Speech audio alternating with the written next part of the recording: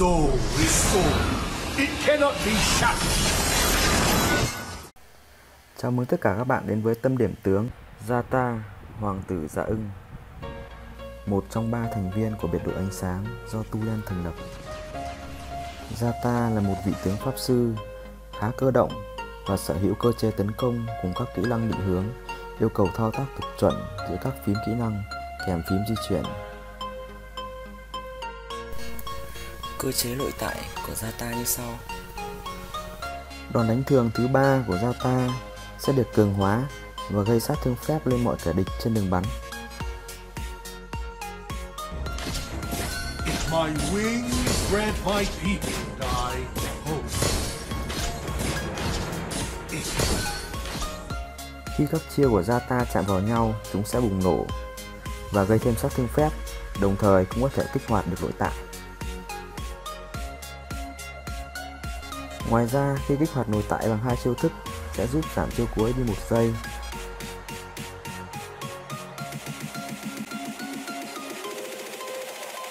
Và sẽ giảm thành 2 giây khi dùng lên tướng địch.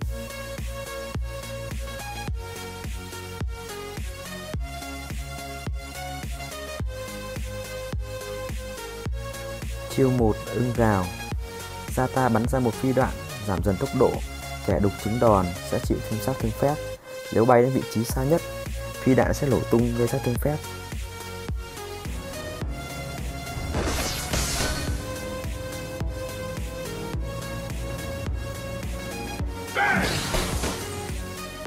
Chiêu 2 Vòi rồng Zata tạo ra một cơn lốc tại thời điểm chỉ định gây sát thương phép và làm chậm kẻ địch. Cơn lốc sau khi sinh ra sẽ tiến về vị trí của Zata đang đứng tại thời điểm tung chiêu.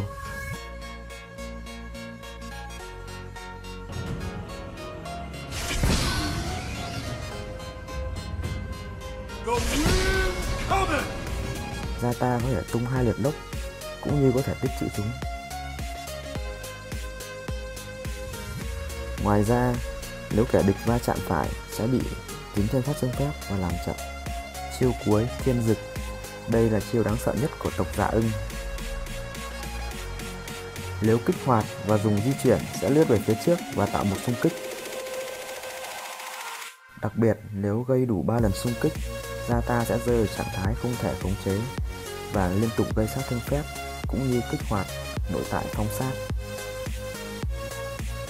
Zata cũng không cần mục tiêu vào tướng địch để lướt chiêu cuối, kích xung kích. Zata có thể kích xung kích bằng cách lướt chiêu cuối vào các skin khác của mình.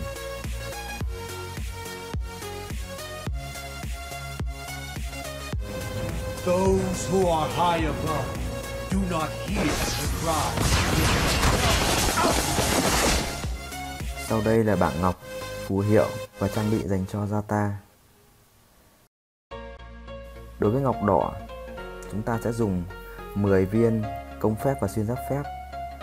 Ngọc tím sẽ là 10 viên tốc đánh và tốc chạy. Ngọc xanh 10 viên tốc đánh và xuyên giáp phép. Phù hiệu chúng ta dùng phù hiệu thần quang để tối ưu sát thương cho Zata.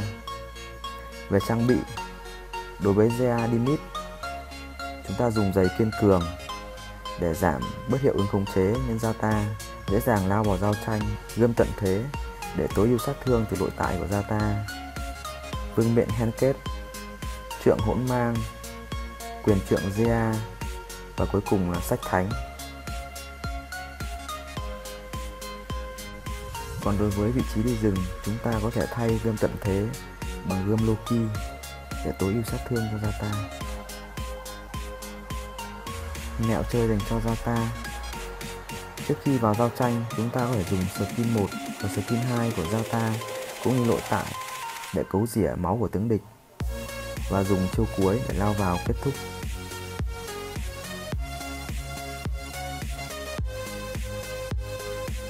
Còn nếu trong team địch có các tướng không chế cứng, chúng ta có thể tích nội tại xung kích bằng skin 1 và skin 2 của Zata để lập tức rơi vào trạng thái miễn không chế, gây sát thương bằng chiêu cuối.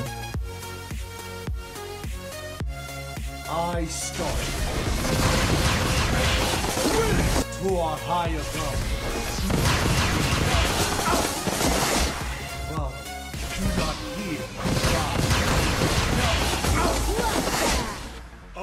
always soars above the clouds. My wings grant my people and I hope. Cảm ơn các bạn đã theo dõi tâm điểm tướng Gia Ta. Hẹn gặp lại các bạn trong các video tâm điểm tướng lần sau.